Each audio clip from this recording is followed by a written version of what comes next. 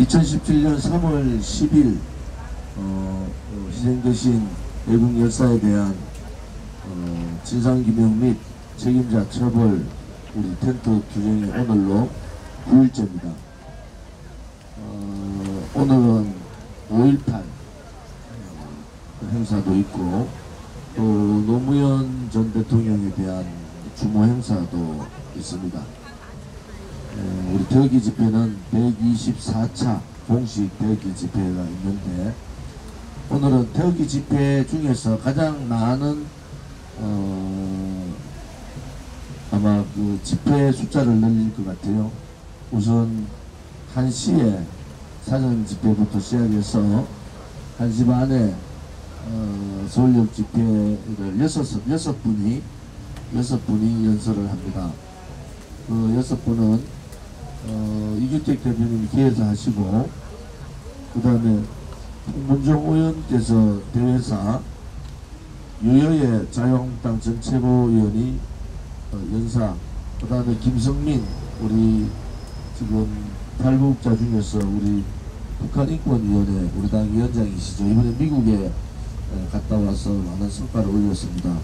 그리고 곽성문 의원 그리고 저 이렇게 해서 1부가 서울역에서 6시에 진행이 되고요 2부는 시청 앞에서 합니다 어, 2부 집회는 그야말로 그 박원순 시장의 이 책임 어, 3.10 희생자들에 대한 어, 최종 책임이 박원순 시장에 있습니다. 어, 잘 이해를 못 하시던데 박원순 서울시에서는 왜 경찰 문제지 왜 박원순의 문제냐 이렇게 얘기를 하는데 박원순이 서울시민 안전에 대한 최종 책임이 박원순한테 있습니다.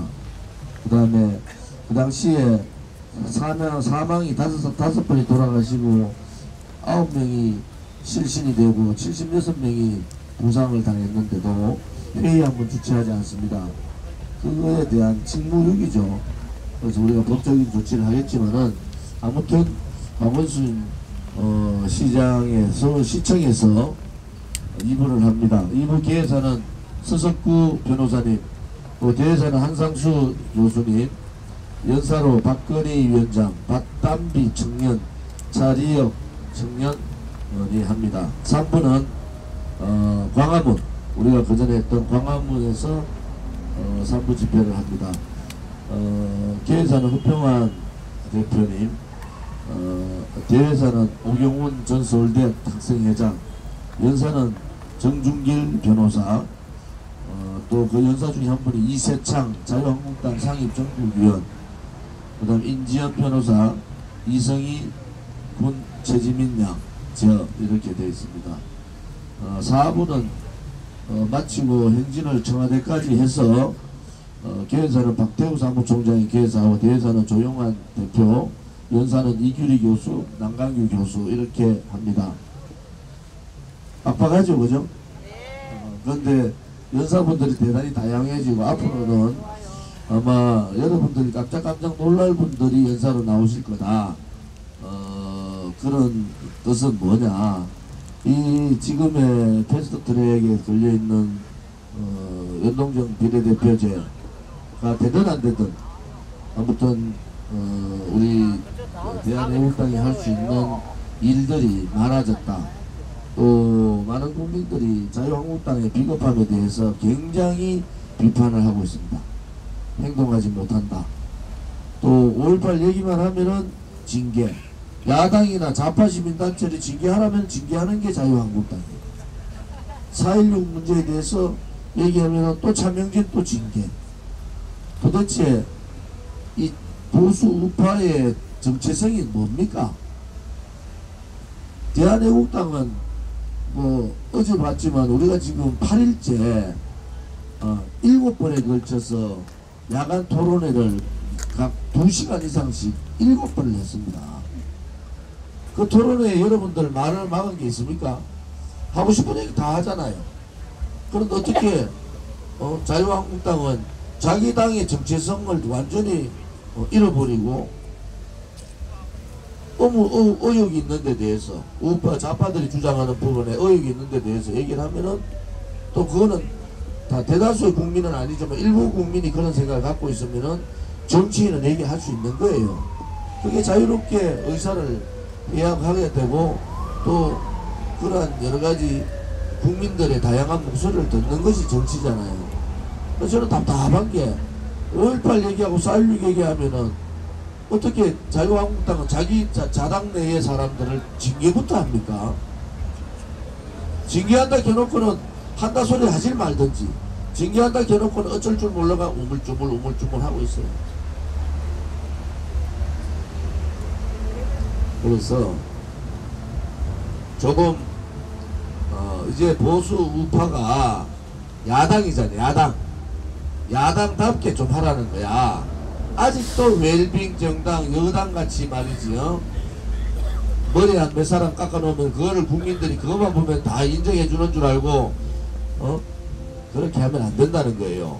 이제는 우리가 한 번도 경험 보지 못한 좌파 독재들하고 싸우는 야당답게 좀 하라는 거예요. 야당답게 그것이 저희들이 어, 자유한국당한테 얘기하는 거예요.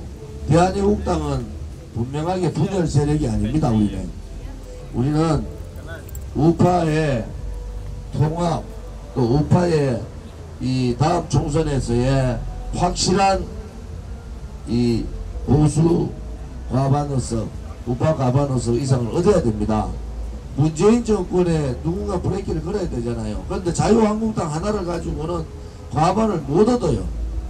제도상으로 그렇고 연동형 비례대표제가 돼도 그렇고 안 돼도 그렇고 왜? 자유한국당에 대해서 분명하게 보수의 지지자의 15% 내지 20%는 거부를 하고 있는 겁니다. 박근혜 대통령을 지지했던 51% 플러스 알파가 플러스 알파는 뭡니까?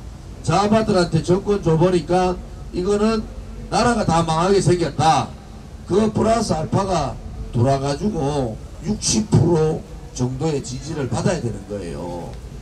지금 자유한국당이 황교안이 뭐 25% 30% 자유한국당이 25%에서 어떤 데는 30뭐 3% 어떤 데는 25% 그거 가지고 반 지금 이제 반하고 있는데 자기들이 다된양 떠들고 앉아 있는 그 모습들이 한심하다는 거예요.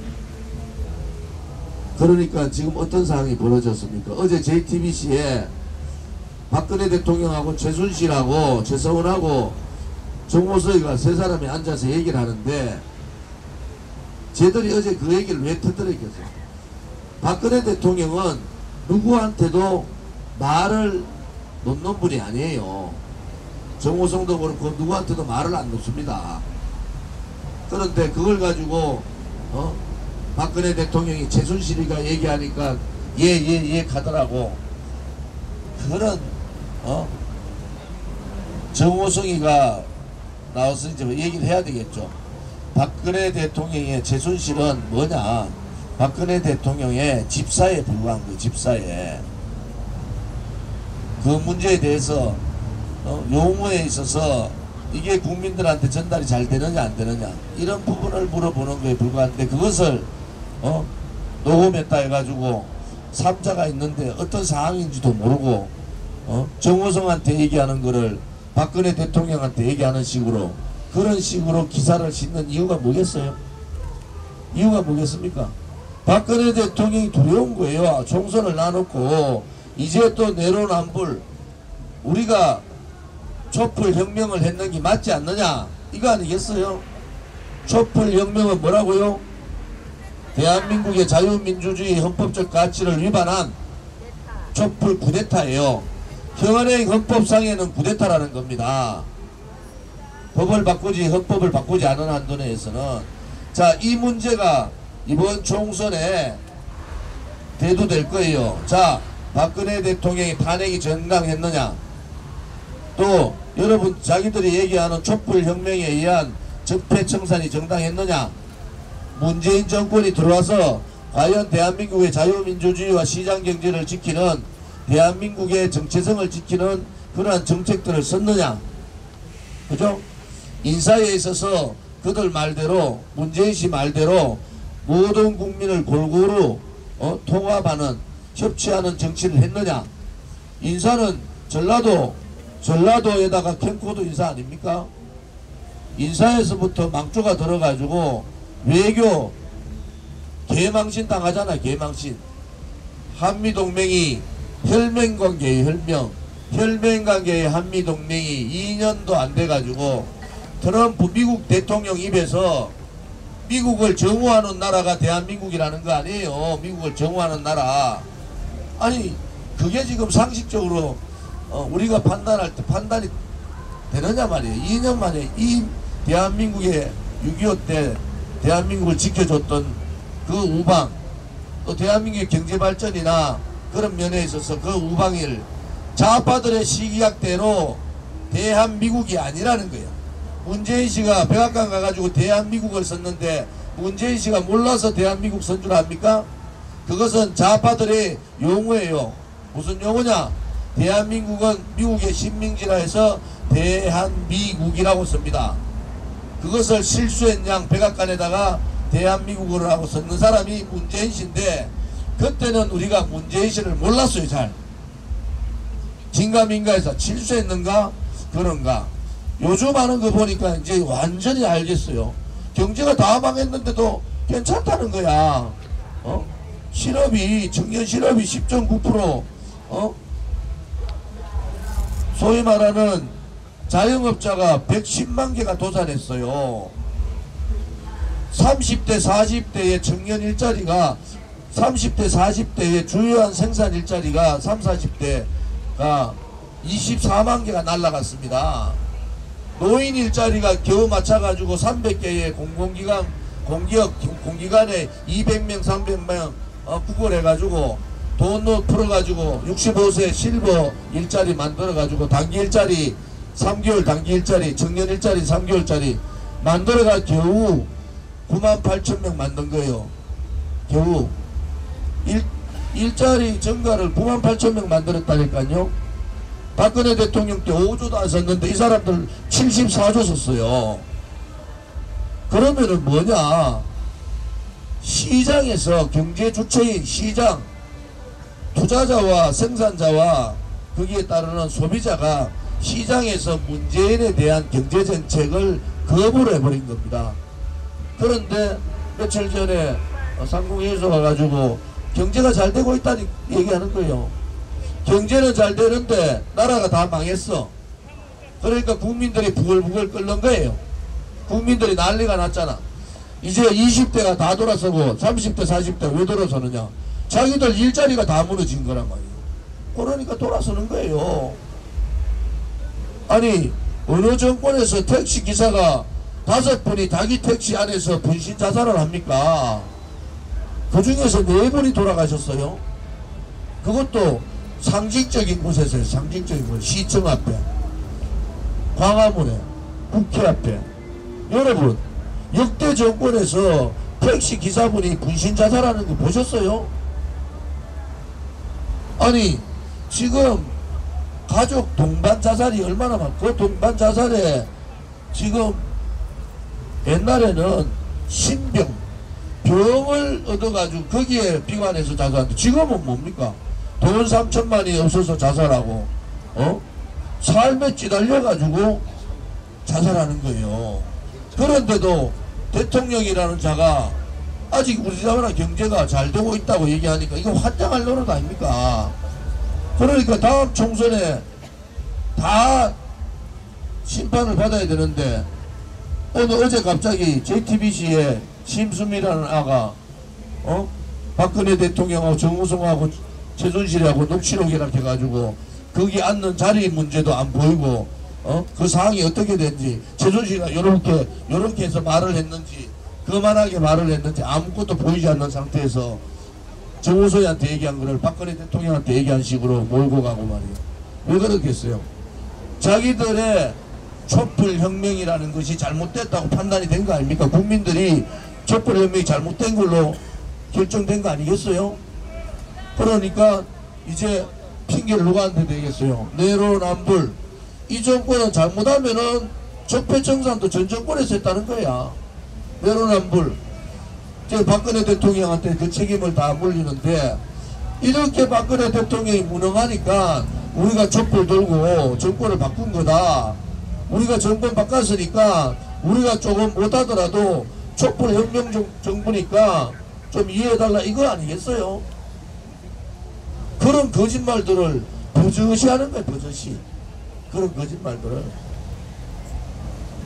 지금 북한 핵 문제 때문에 비핵화 비핵화 해가지고 저 또라이 또 왔구만. 저 완전 또라이잖아 저.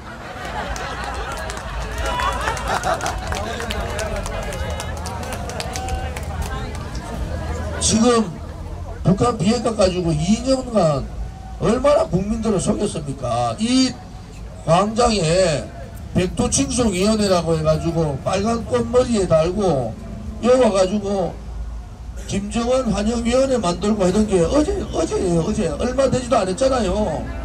불과 몇 달 만에 전부 거짓말이 다 탄로났지 않습니까? 우리 대한민국 국민들은 되게 우파들한테는 박근혜 대통령한테는 되게 어? 와와와 하다가 2년 동안 거짓말했는 어, 이 정권에 대해서는 얘기를 해야 되잖아요. 안녕하세요. 반갑습니다. 반가워요. 목사님, 목사님 기도 좀 해주세요. 네. 대한민국이 자로 넘어가지 않도록 꼭 기도 좀 해주세요. 예. 김창호 목사님, 감사합니다. 우리 대한애국당을 위해서 텐트 투쟁을 위해서 저렇게 기도를 해주시니까 얼마나 감사합니까? 박수 한번 주세요. 박수. 감사합니다. 감사합니다.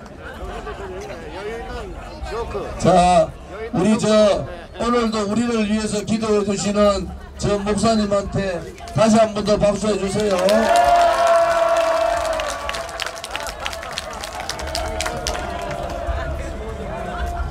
이제 이제 여러분들이 어, 가야 될 길은 정해져 있잖아요. 우리도 정해져 있어요, 그죠?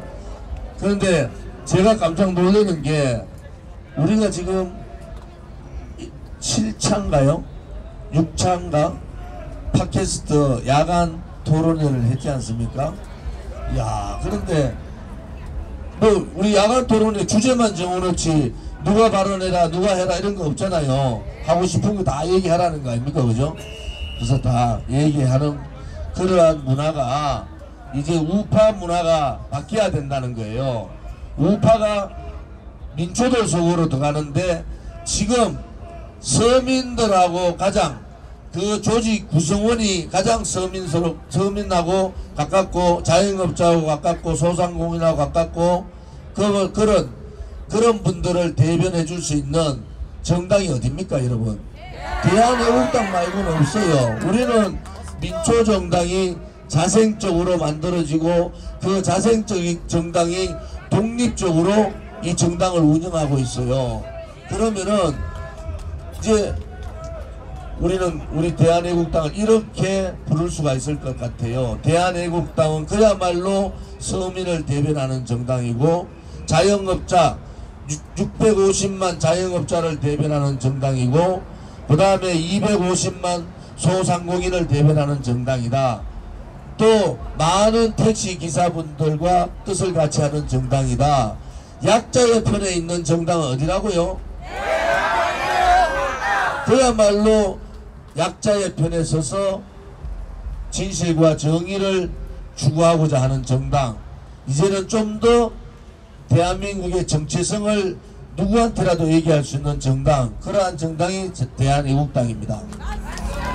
지금 우리 대한애국당 당원 누구도 누구도 어떤 좌파들하고 토론을 붙여도 다 이길 수가 있는 그 정도의 이제는 투철, 어, 투철한 교육이 돼가 있지 않습니까? 그죠? 어제 그, 그, 저, 뭐죠? 어, 우리 3월 10일 날 그 관계를 진술하는 여성분도 보세요. 그분 연단 세우면 목소리가 연사로 죽이겠던데. 목소리 크랑크랑 하던데. 앞으로 여러분들이 자부심을 가질 수 있는 정당은 만들어졌고, 우리가 8월 30일 1년 지나고, 지금 소위 말해서 이 1년 10개월 가까이 되는 어, 우리 정당 9개월 됐어요. 1년 9개월, 21개월 됐는데 21개월 만에 이렇게 어, 성장하고 국회의원 한석밖에 없지만은 이렇게 알려준 정당 민중당도 국회의원 한석인데 민중당 잘 모르잖아요. 민중당은 민주노총 사람들은 잘 알아. 근데 국민들은 잘 모르는데 우리 대한애국당은 이제 국민들이 서서히 알게 됐다. 우파 국민들이 이런 거예요. 좋은지 말고 한 20명만 국회의원 우리 당에 있으면은 대한애국당 다 찍어줄 낀데 조- 좋은지 하나가 되겠나 이거 아니겠어요? 그거는 그거는 우리가 만들어야 되잖아요. 우리가 만들어 가지고 국민들한테 국민 여러분 이제 저 말고도 좋은지 말고도 서른 사람 이상이 우리 당에 같이 나와 있고 우리가 기호가 3번이 될지 4번이 될지 모르지만은 이렇게 국민들한테 심판을 받고 싶습니다. 우리는 3년간 우리는 3년간 그렇게 싸웠습니다. 어? 약자의 편에 섰고 정의의 편에 섰고 대한민국의 정체성의 편에 섰고 한미 동맹의 편에 섰고 대한민국의 안보의 편에 섰는 정당이 대한애국당이다. 제가 봐도 버릴 게 하나도 없어요. 아, 버릴 게 하나 있어. 하나 있어. 분노하는 분노와 투쟁의 조절만 잘하면 돼. 투쟁을 하는데 분노와 투쟁의 조절을 잘만 하면은 될 것 같다. 막 그렇잖아요, 그죠? 오늘은 어 124차 태극기 집회지만은 어 우리가 어 진실 이 2017년 3월 10일에 2년간 묻혀있던 이 진실을 광화문으로 대한민국 수도 서울의 국민들의 광장 광화문으로 가지고 온 겁니다. 여러분 이 광화문으로 가져왔다는 또저 또 이상한 인간 하나 있네. 박수 한번 해주세요. 열심히 하세요. 열심히 저쪽 가서 열심히 하세요. 예. 여러분 광화문으로 광화문으로 이 진실 투쟁을 가져온 겁니다. 이제는 외면할 수가 없어요. 데일리안 보셨어요? 뉴스 보셨어요? 여러분 네이버에 들어가셔 보- 네이버 한번 들어가보세요. 지금 네이버 들어가 보세요.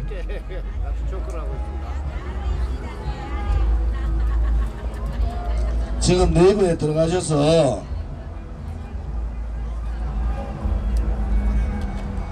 네이버에 들어가셔가지고 네이버 제일 위에 빈 공간 있죠, 그죠? 거기다가 조원진을 치세요. 조원진을 쳐보세요. 그럼 저의 기사가 쫙 나와 있어요. 여기에 보면은 오늘도 뭐 많이 떴네.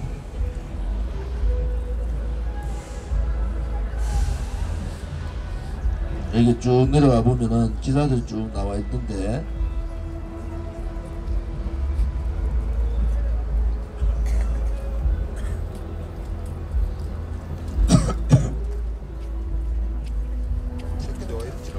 여기 보면은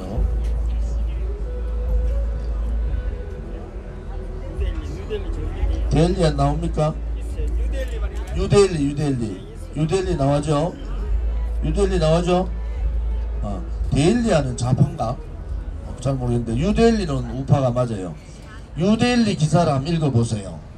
왜 대한애국당이 광화문에 천막을 쳤느냐?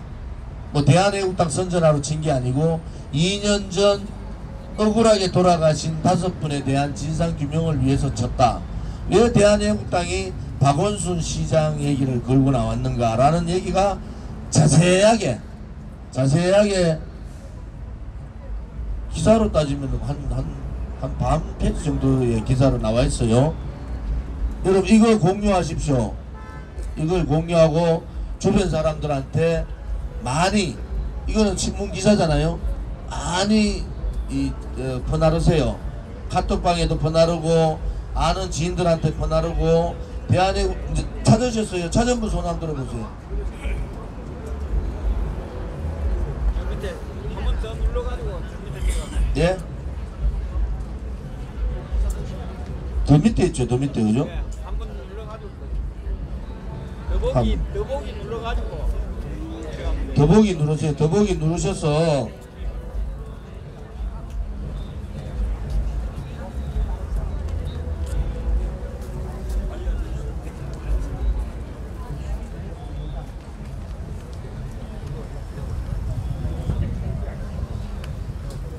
이 기사 우리 저당 사무처에서는 당 카페에다 등등 다 올려서 여러분 찾기 힘들면 당 카페 들어가세요. 지금 기사 곧 올릴 테니까 당 카페에 들어가셔서 이 기사를 가지고 한 몇백만 명만 한테만 전달하면은 여러분들 알고 있는 전화번호에다가 다 이 기사를 송부해 주세요.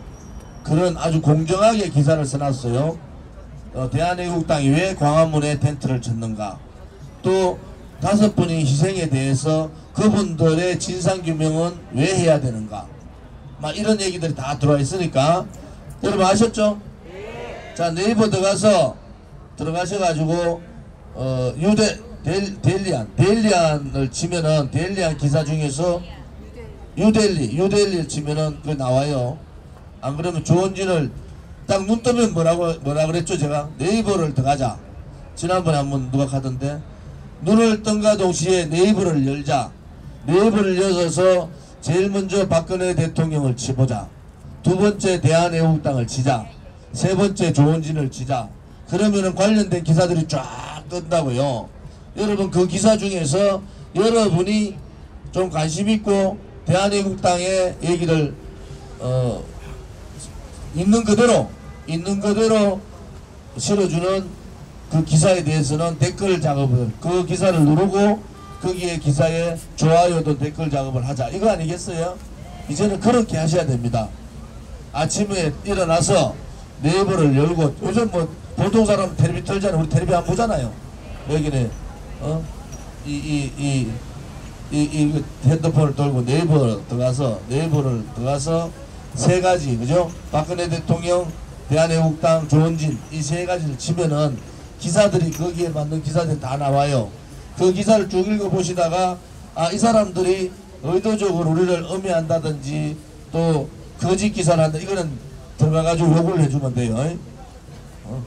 너 거짓말 하지마 한마디 해주면 되고 그렇지 않고 우리의 얘기를 제대로 실어준다면 들어가서 댓글도 달고 좋아요도 달고 어? 그렇게 해주, 해주면 됩니다 아시겠습니까? 오늘은 저는 그냥 이 정도로 오늘 투쟁에 있어서의 몸풀기 몸풀기를 좀 했습니다 우리 허준 쌤 웃는구만 자 우리 저 이기택 대표님 오늘 집회에 대해서 조금 하신 말씀 있으십니까?